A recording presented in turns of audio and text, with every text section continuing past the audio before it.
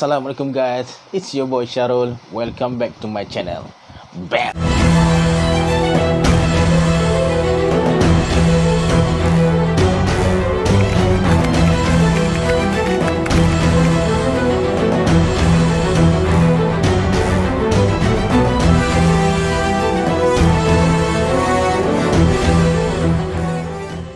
Dalam video kali ini aku akan kongsikan dengan korang 5 kisah seram yang terjadi ketika berkemping.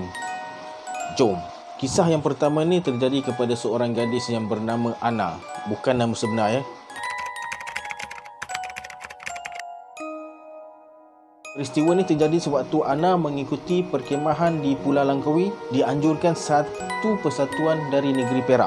Tapak perkemahan diorang ni macam dom je. Lepas diorang sampai semua uh, dalam pukul 6 tu, Ana ajak kawan-kawan dia pergi pantai. Nak mandi pantai lah masa tu. Tapi salah seorang daripada kawan Ana tu yang bernama Lin mengadu pening kepala dan dia pun balik ke tempat perkemahan diorang. Selepas puas berenang, Ana pun balik dengan kawan-kawan dia. Balik ke tempat perkemahan diorang lah. Bila diorang sampai je dekat tempat perkemahan diorang, diorang terus panik sebab Lin tak ada dekat katil je. Diorang pun ramai-ramai menjerit nama Lin. Panggil Lin. Lin, Lin. Tak ada pun jawapan daripada Lin. Puas diorang cari Lin. Tak jumpa-jumpa. Tiba-tiba, diorang terdengar suara seorang gadis menangis tersedu-sedu dekat hujung dom. Mulanya, diorang kurang pasti sama ada itu Lin atau bukan. Sebab mukanya tunduk ke bawah dan ditutupi dengan rambut yang kusut masai. Dan memeluk kedua-dua belah lututnya. Dia duduk menggigil betul-betul di ceruk tembok. Diorang pun perlahan-lahan mendekati Lin. Tangan si Lin ni sejuk betul dan apabila si Lin mendongak, alangkah terperanjatnya diorang. Mata Lin ni dua-dua dah naik ke atas. Pelatih diorang pun mengarahkan diorang untuk membaringkan Lin dan menahan kaki dan tangannya. Yang ketika itu terus meronta-ronta. Sedang pelatih dia baca ayat kursi, si Lin ni mengilai dengan suara yang garau. Tapi itu bukan suara dia. Lama-lama suara Lin jadi perlahan. Buih pula banyak keluar daripada mulut dia. Akhirnya, lepas sejam, barulah Lin okey balik. Malam tu, diorang semua takut nak tidur tau. Sebab dia orang dengar orang kentut tingkat daripada hujung kiri ke hujung kanan tempat dia orang rehat tu. Tapi yang seram ni, bayang semua tak ada. Dengar bunyi je. Esoknya diorang tanya si Lin, apa jadi semalam? Lin cakap, masa dia nak pergi ke tempat perkemahan diorang, dia melintaslah beberapa batang pokok kelapa. Tiba-tiba dia terhenti sebab dia terpijak sehelai kain putih. Bila dia mendongaknya, terperanjat dia. Ada makhluk setinggi pokok kelapa tengah tengok dia. Bayangkan rambut dia terhurai sampai ke tanah. Muka dia hitam dan hodoh dan makhluk tu memegang ranting pokok dan tenung tajam dekat arah Lin. Dari situlah dia kena sampuk. Habis dia orang pun cakap "Bhai, mungkin hantu galah kot. Sampai sekarang si Ana tu takut nak pergi camping mana-mana pulau lagi. Okay, next.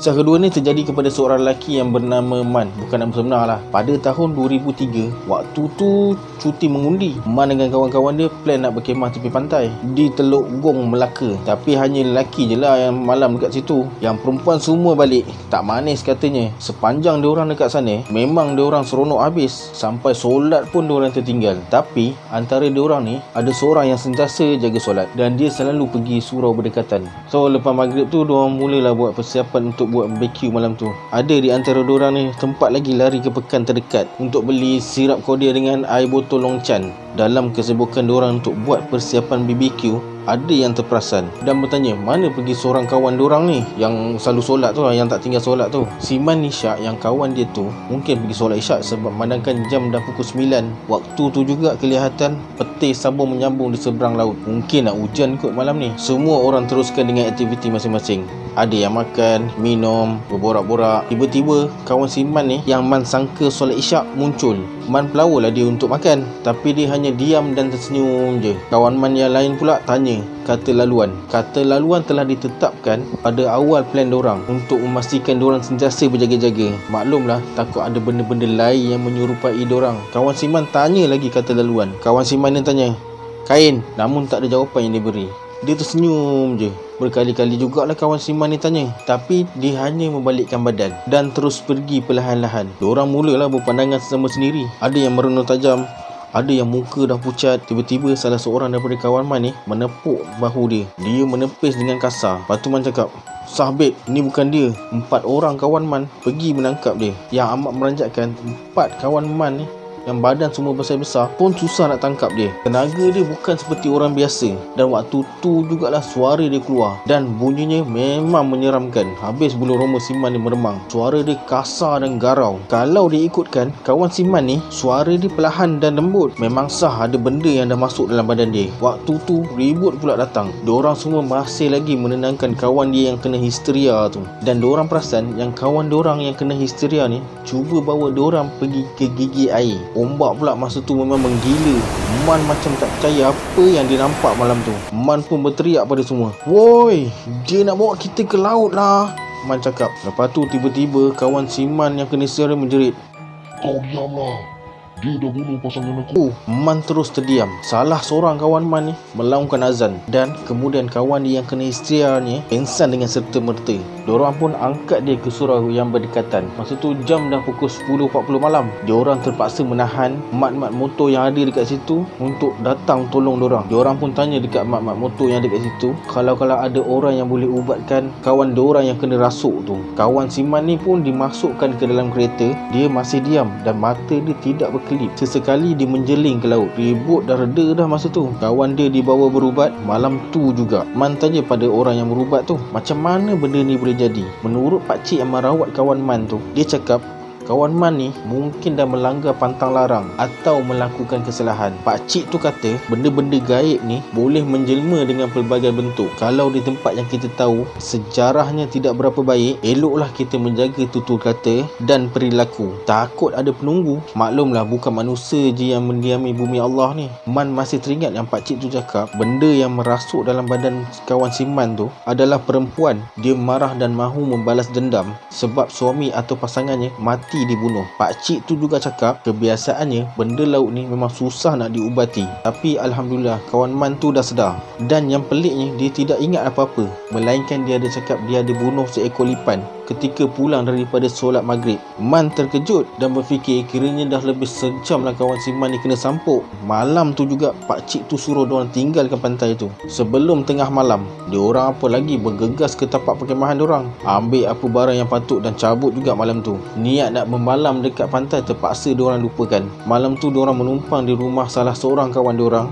Masa diorang nak tidur, kawan Man yang baru sedar dari kena histeria tu dia cakap badan dia terasa sakit. Diorang fikir memang itulah efek orang yang terkena histeria. Tapi selepas beberapa minggu, dia cakap tangan kiri dia kebas. Puas dia dah jumpa doktor untuk buat rawatan. Tapi doktor cakap tangan dia tak ada apa-apa pun. Lepas tu dia cuba pula buat rawatan alternatif lain. Namun tak berjaya juga. Dan akhirnya tangan kiri dia lumpuh. Ada yang mengatakan tangan kiri itulah yang membunuh lipan dekat pantai itu. Kepada korang semua, kalau korang suka aktiviti luar seperti berkemping dalam hutan, naik gunung ke berhati-hatilah dengan tingkah laku korang.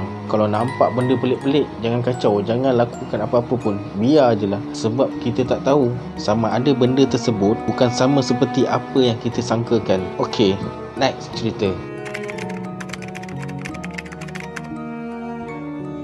Okey, cerita ketiga ni diceritakan oleh kawan aku sendiri kepada aku yang aku bagi nama dia Tengku. Jom, Tengku ni dulu dia belajar dekat Giat Mara Keramat. Satu hari budak-budak Giat Mara ni ajak pergi berkemping dekat Lubuk Tedung, Kemensah. Lubuk Tedung tu memang jauh ke dalam lagi. Masa tu diorang ni dah gerak lewat dah. Ada dua orang guide masa tu, budak masa maju. Disebabkan diorang dah pernah pergi ke sana. So, diorang ni lah yang jadi guide. Kumpulan diorang ni ada dalam lebih kurang 20 orang yang join camping tu. Bila dah sampai tempat parking, semua bersiap-siap lah dengan bag masing-masing nak trekking ke Lubuk Tedung tu. Eh, Aku dah tukar baju kejap tadi. Okey, jom kita sambung Diorang jalan kaki lebih kurang dalam 1 hingga 2 jam macam tu lah. Diorang dah mula trekking tu pun dah petang. Bila dah masuk dah jalan-jalan tu Dah hari pun dah jadi gelap lah. Dalam perjalanan tu diorang rehat sekejap. Diorang bajet sampai dalam pukul 8 hingga 9 malam macam tu lah. Lepas rehat sekejap tu Diorang pergi, diorang sambung jalan balik. Jalan-jalan-jalan Lepas tu guide tu cakap suruh rehat sekejap. Sebab nak kira orang katanya. Rehat-rehat uh, Rehat kira-kira-kira orang semua. Lepas tu okey dah ngam dah. Uh, Guide cakap uh, jom jalan Jalan-jalan-jalan lagi tu suruh berhenti lagi. Kira orang lagi. Lepas kira, kira, kira Terus je gerak. Tak ada lihat. Gerak.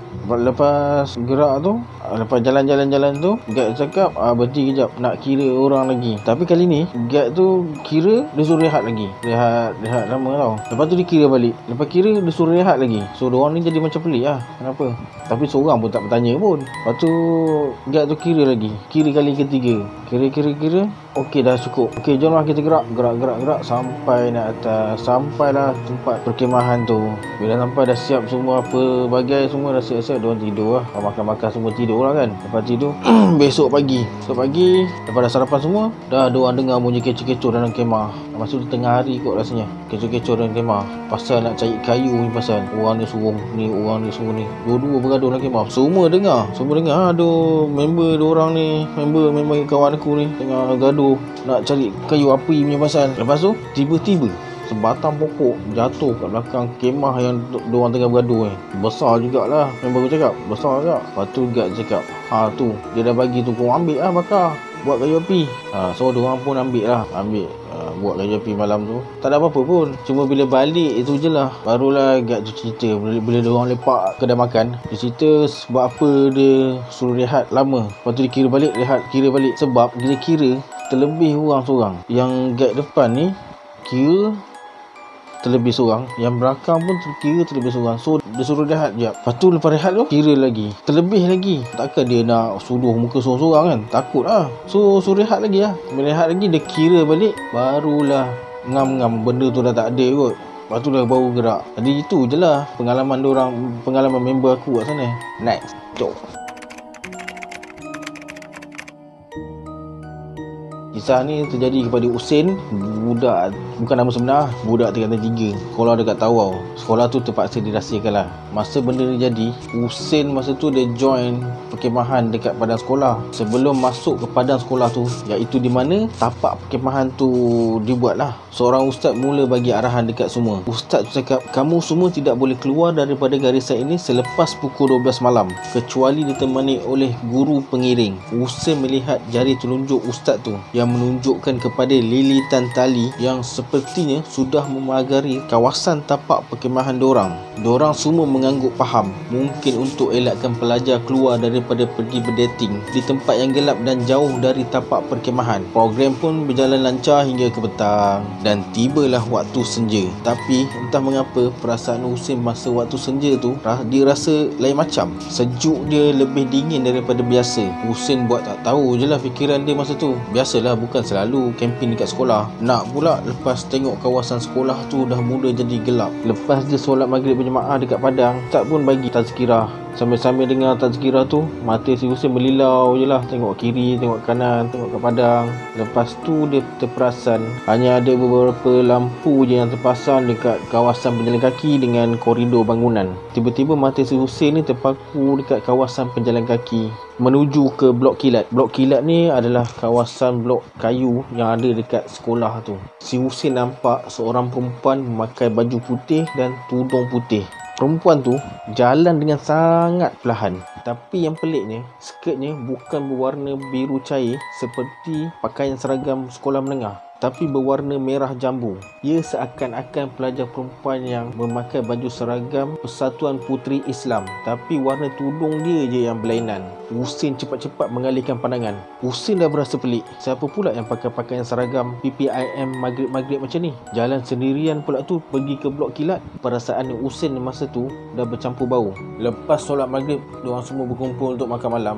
Husin dengan kawan-kawan dia duduk dekat kawasan yang diorang panggil Astaka. Astaka ni menghala ke padang. So kalau ada acara-acara sukan memang tempat tu lah strategik sekali. Diorang nak tengok uh, pertandingan-pertandingan yang diorang lakukan kat sana. Time makan tu mata Husin melilau-lilau lah ke padang tu dia usah-usah tepi-tepi padang ujung-ujung padang kan. Dalam mata dia melilau-lilau tu do, si Husin ni pandang dekat pokok-pokok besar yang ada dekat ujung padang. Yang Husin ingat Uh, ada empat batang pokok besar yang ada dekat padang tu yang menghala ke gelanggang bola tampar. So Usin ni macam pelik lah. Dia gosok-gosok mata dia Sebab Usin nampak dengan jelas. Seorang perempuan berambut panjang yang tinggi Berdiri dekat depan salah sebatang pokok tu. Perempuan tu berpakaian putih dan tinggi dia separuh daripada pokok tu. Masa itulah si Husin ni kaget tapi dia tak bagi tahu siapa-siapa. Sebab dia teringat orang cakap kalau nampak apa-apa jangan tegur nanti kita pula yang keteguran. Betul tak? Lembaga tu berdiri lama kat depan pokok tu statik je tak bergerak-gerak kira-kira pukul 2 pagi baru benda tu menghilang Husin baru teringat yang benda tu berdiri betul-betul di luar tali yang petang tadi ustaz pagarkan. Nasib baik ustaz dah pesan jangan keluar lebih daripada tali tu bila dah tengah malam. Kalau tak tak tahulah nak jadi apa. Time tidur dalam kemah tu pula si Husin ni memang tak dapat nak tidur. Sebab dia rasa kat luar kemah ada benda yang sedang bercakar-cakar dekat dinding kemah dia tepat dekat kepala dia. Si Husin ni cepat-cepat paksa mata dia pejam dan dia baca macam-macam surah yang dia ingat. Dia baca baca baca sampailah dia tertidur. Besoknya perkemahan dah tamat. Si Hussein ni ceritalah pengalaman dia malam tadi dekat ustaz. Ustaz tu pun cakap biasalah orang first time camping. Macam-macam lah dia nak usik jadi tamatlah cerita pasal si Hussein ni. So kita jump to the next story. Jom peristiwa ni terjadi kepada Ahmad bukan nama sebenar eh. Diorang ni daripada Singapura. Semuanya 9 orang. Diorang plan nak pergi Gunung Pulai berkonvoi naik motor lah. Sebenarnya ramai orang-orang tua daripada Pontian, Johor cerita dekat orang ni pasal benda-benda aneh dan ganjil yang terjadi dekat Gunung Pulai tu. Dan ramai juga yang sesat dekat Gunung Pulai. Jadi tujuan orang semua ni untuk menjajaki dan memburu tempat-tempat misteri ni sebab itulah kesukaan si Ahmad ni. Sejak dulu lagi iaitu jungle trekking activity sampai je orang dekat kaki Gunung Pulai tu orang pun mulalah trekking. Bermacam-macam benda aneh orang lihat dekat Gunung Pulai tu. Terlalu banyak untuk dirungkai. Selain itu selama orang berjalan jalan trekking ni Diorang rasa seperti dipantau oleh sesuatu. Sekali-sekala kawan-kawan si Ahmad ni Macam ada terperasan Ada benda yang mengikuri diorang. Di suatu puncak yang sangat tinggi Kawasan tu macam ada sesuatu yang menarik perhatian diorang. Diorang semua rasa macam terpanggil je nak pergi ke sana. Semasa diorang memantau dekat kawasan yang lebih tinggi Tiba-tiba diorang ada terdengar suara. Ada orang datang, ada orang datang. Beberapa kali. Suasana masa tu macam suasana sebuah perkampungan. Ada bunyi motor, ada bunyi lori, ada bunyi kereta yang kedengaran. Malangnya, bila sampai betul-betul dekat kawasan tersebut, tiada satu kereta atau lori atau motor, malah kampung pun dekat situ. Dan masing-masing mula berfikir, atas gunung, mana ada kampung? Keadaan jadi sunyi sepi. Diorang pun mula cari tapak perkemahan yang strategik dan mengemas beg masing-masing. Hidupkan unggun api dan semua kawan-kawan bekerjasama menaikkan kemah dan sebagainya. Sebab sampai pun dah masuk waktu maghrib masa tu. Pada pukul 9 malam, diorang mengadakan sedikit permainan gerak. Permainan gerak ni diorang buat macam bersilat lah pada pemain aku lah. Berbagai permainan gerak diorang lakukan pada malam tu. Tak sedar dah pukul berapa diorang main. Akhirnya setelah puas diorang bermain, permintaan khas dari beberapa orang kawan si Ahmad ni ialah bermain dengan dengan gerak transfer yang mana diorang nak si Ahmad ni jadi penerimanya manakala kawan-kawan yang lain akan cuba masukkan sebilangan jin ke dalam tubuh Ahmad masing-masing nak test power katanya untuk pertamanya Diorang masukkan tiga ekor jin sekaligus dengan tiga orang penangkap yang berlainan. Pada masa itu, Ahmad dah berubah menjadi seekor binatang yang ganas. Merangkak, menyeringai dan bercampur-campur watak dia. Masuk jin yang nombor empat, Ahmad dah jadi macam jin pemalas dan mengantuk. Masuk jin nombor 5 dan jin nombor 6 Ahmad dah jadi jin yang ingin menentang Macam seorang pendekar. Masuk jin yang nombor 7 Ahmad dah jadi macam perempuan. Malah cara dan perilaku menunjukkan si Ahmad ni macam seorang gadis Yang mana menangis terisak-isak. Akhirnya semua kawan-kawan telah menenangkan si Ahmad ni Dan mahu mengeluarkan semua jin tersebut. Dalam kepayahan untuk mengeluarkan jin tu ada juga yang nakal. Masukkan lagi dua ekor jin Yang menjadikan kesemuanya sembilan ekor jin yang masuk ke dalam badan Ahmad malam tu. Pada masa tu Ahmad mengamuk. Tapi sebenarnya benda tu lah yang mengamuk. Siap mencabar seorang demi seorang untuk berlawan dengannya Dan memanggil semua jin yang berada di atas pokok untuk menyerang dorang. Keadaan jadi panik sekejap. Semasa proses untuk mengeluarkan jin tu Diorang menindih tangan dan kaki si Ahmad ni. Apabila salah seorang kawan si Ahmad ni mencabut keluar jin tersebut maka terasa seperti sebuah batu besar yang bergolek melalui belakang badan dan terus bergolek melalui tengkuk dan terus ke atas kepala. Ahmad masih lagi menangis seesak-esak dan kadang-kadang menjadi gelia dan marah. Dan Ahmad akan menyebut Mayang, Mayang jangan kacau adik aku. Aku bunuh kamu semua malam ni. Adakala si Ahmad ni menjerit dengan suara yang sangat garuk kerahkan semua turun kita bunuh mereka malam ni juga. sambil menuding jari ke atas pokok. Beberapa kali jugalah si Ahmad ni muntah semasa proses pengeluaran jin tersebut. Jadi, diorang semua menggunakan kemahiran masing-masing untuk mengetahui tempat apakah itu dan terbukti itu adalah kampung Bunian di mana kawasan itu adalah di antara kerajaannya atau istananya. Tiba-tiba satu lembaga datang dekat diorang dengan berpakaian serba hitam seperti pahlawan Melayu. Saiz susuk badannya agak besar dan tinggi. Dua kali ganda manusia biasa. Mukanya kurang jelas dan hampir tak nampak langsung. Dia memberi salam dan kemudian berkata, jangan melakukan kerosakan, kezaliman, kehinaan dan kekotoran di Taman Mayang ini. Iaitu seorang puteri di kawasan dalam Gunung Pulai itu dan sentiasa berlega di kawasan taman dalam Gunung Pulai. Kawasan mana? Diorang semua tak pasti dekat mana kawasan tu. Selepas peristiwa pada malam tu, besoknya diorang pulang semula ke Singapura dan menjadikan sebagai satu kenangan yang tak dapat dilupakan oleh Ahmad dan kawan-kawan dia.